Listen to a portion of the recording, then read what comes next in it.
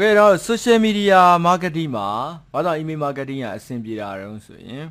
ဘယ်လိုပဲကျွန်တော်တို့ကဒီ engagement တွေတက်လာအောင်ပေါ့နော် customer တွေကို segmentation ခွဲပြီးတော့ lead magnet တွေလုပ်လို့ရတယ် lead magnet ဆိုတော့ဥပမာကိုကဟို digital marketing နဲ့ပတ်သက်တဲ့ evoke လေးပေါ့နော် free ပေးမယ်ပေါ့နော်အဲ trial version လေး free ပေးမယ်ဆိုရင်အဲ့ဒါကိုလာတောင်းလို့နံပါတ်ဖုန်းနံပါတ်နေရာလေးအော်တွေအဲဒီ email address ပေးတဲ့သူတွေဟာဒါဆိုရင်သူ digital marketing ကိုစိတ်ဝင်စားရတယ်ပေါ့နော်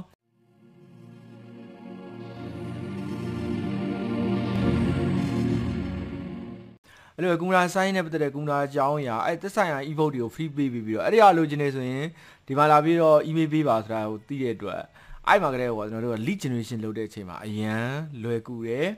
အဲ့တော့သူဒီဘာကိုစိတ်ဝင်စားရဆိုတော့ဒီခါလဲခွဲလို့ရတယ်ဘာလို့ automation တွေလည်းတခါလဲလုပ်ရဥပမာ hotspot လိုမျိုးအဲကျွန်တော်တို့ ဒီ email marketing tool တွေ email marketing service တွေကနေ automation နဲ့လွယ်တကူလုပ်လို့ရတယ်။ရက်ကူကဒီတခြား marketing tool တွေနဲ့ဥမာကိုမှ email list ရှိတယ်ဒီ email list နဲ့လည်းအဲ Facebook မှာကျွန်တော်တို့က marketing ဆင်းလို့ရတယ်။ဥပမာ Facebook ရဲ့ဒီ look like audience တို့နောက် customize အဲ customize audience တို့ဆိုတာတွေက email နဲ့လုပ်လို့တာကိုယ့်ရဲ့ email list ကိုသူ့ကိုအလုပ်လုပ်ပေးလိုက်တယ်။အဲ့ဒီမှာဒီ Facebook ကဒီ email ပိုင်ရှင်တွေရဲ့ behavior ကိုလေ့လာလိုက်တယ်။ နောက်အဲ့ဒါနဲ့အလားတူတဲ့ customer တွေကိုသူကရှာပေးတယ်ပေါ့နော်အဲ့လိုမျိုးအဲ့တော့ဒီ email marketing ကဒီ email marketing ခြား marketing tool တွေနဲ့လည်းလွယ်ကူ integrate လုပ်လို့ရတယ်ဘာပြော return on investment ပေါ့နော်ယင်းနှမြုပ်နှံရတဲ့ငွေကြေးနည်းနည်းလေးနဲ့အကျိုးမြတ်ကအများကြီးပြင်ရတယ်နောက် email marketing က reduce cost ကုန်ကျစရိတ်လည်းနည်းတယ်ဥပမာကို့မှာ mailing list customer က9000 1000လောက်ရှိတယ်အဲ့ဒီတော့ကျွန်တော်တို့ hotspot လိုမျိုး